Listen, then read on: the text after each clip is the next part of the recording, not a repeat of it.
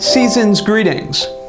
The Cartesian product of a set A with the intersection of two sets B and C is equal to the intersection of A cross B with A cross C. So it turns out Cartesian products distribute over set intersection. That's pretty cool. Let's prove it in today's lesson. You'll need to be comfortable with the definition of set intersection and with the Cartesian product of sets. I'll leave links in the description to my lessons on those topics if you need a recap. This is a pretty basic set theory proof, where we just have to repeatedly apply definitions until we reach our conclusion. So I encourage you to give it a try yourself before watching the rest of the lesson. The basic structure of this proof is that we've got to show the set on the left is a subset of the set on the right. That's what we're going to do first, is prove this.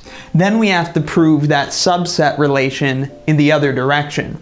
We've got to prove that the set on the right is a subset of the set on the left. If both the sets are subsets of each other, then they've got to be equal sets. So let's start with this one. We'll prove that the set on the left is a subset of the set on the right. To prove that subset relationship, we need to start with an arbitrary element from the set on the left and show that element also belongs to the set on the right. To take an arbitrary element from a Cartesian product, you gotta know what Cartesian products are. It's the set of all ordered pairs where the first element comes from the set on the left and the second element in the ordered pair comes from the set on the right. So we'll take this arbitrary element from the Cartesian product, we'll call it AE. This ordered pair AE is an element of the set on the left, A cross B intersect C. I've called the first element little a because by definition of Cartesian product, little a has to belong to the set big A. The element on the right of the ordered pair, I've just called E for element. By definition of Cartesian product, this second element in the ordered pair must belong to the set on the right. It's the second element in the ordered pair, so it must belong to the second set in the Cartesian product. So A is an element of big A, and the element E is in this set, B intersect C. E is an element of B intersect C. Now, little a being in the set big A, that just means exactly what it says. But what about this piece over here? A being an element of B intersect C, what's that mean? By definition of set intersection, that means that E is an element of B and E is an element of C.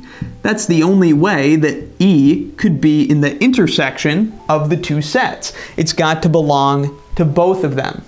Okay, let's keep our attention on the goalpost here, right? We're trying to show that the element AE, that ordered pair, is an element of this set intersection. So what comes next? Well, if E is an element of B and little a is an element of big A, then certainly the ordered pair AE must be an element of the Cartesian product of A cross B. This is an element of A cross B. Again, that's because A is an element of the set A and E is an element of the set B. So the ordered pair AE has to be in A cross B. But similarly, since E is an element of the set C, the ordered pair AE also has to belong to the Cartesian product A cross C. So this is an element of A cross C. And again, that's because the element little a is in the set big A and the element E is in the set C. So the ordered pair A, E is an element of the Cartesian product A cross C. Then we're pretty much there, right? If this ordered pair is in A cross B and it's in A cross C, then by definition, it's an element of the intersection of the Cartesian products. So we have that the ordered pair AE is an element of A cross B intersected with A cross C because it's an element of both of those sets. And so we have established this first subset relation. We're halfway there. So we just took an element from A cross B intersect C and repeatedly applied some definitions to show that it's also an element of A cross B intersect A cross C. And so we've proven this first subset relationship. To prove the other direction, it's actually just all of these statements, but backwards. So as long as you understood these statements one way, hopefully you can understand it the other way too. I'll give you a second to pause the video and try to prove this second direction on your own. Like I said, it's just these steps, but in reverse. Hopefully you gave it a try. Let me walk you through the logic now. We would, of course, begin the proof of this subset relationship by taking an arbitrary element from the set on the left. So suppose that the ordered pair AE is an arbitrary element of this intersection. I know that the elements of that intersection are ordered pairs because it's an intersection of Cartesian products. Cartesian products only have ordered pairs, so any arbitrary element has got to be an ordered pair. Okay, so here's my arbitrary element of this intersection.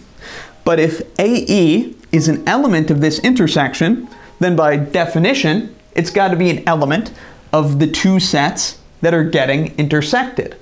So AE is an element of A cross B, and AE is an element of A cross C. All right, well then, if AE is in the set A cross B, by definition of Cartesian product, that means the element on the left is an element of the set on the left. So little a is an element of the set big A.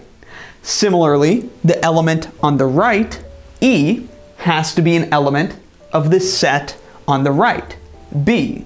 So E is an element of B. And again, that's just by definition of Cartesian product. Apply the same logic over here. The element on the left, A, is an element of the set A. We already knew that. The element on the right is an element of the set on the right. E is an element of C, by definition of Cartesian product. But if E is an element of B, and E is an element of C, by definition of set intersection, E is an element of B intersect C. But then, if A is an element of A, and E is an element of B intersect C, then by definition of Cartesian product, the ordered pair AE is an element of the Cartesian product of those two sets. E is in B intersect C, A is in A, and so the Cartesian product AE is an element of that Cartesian product. So, same steps, but in reverse, that proves that the intersection of A cross B with A cross C is a subset of A cross B intersect C. Then we're done. We've proven that the Cartesian product does indeed distribute over set intersection.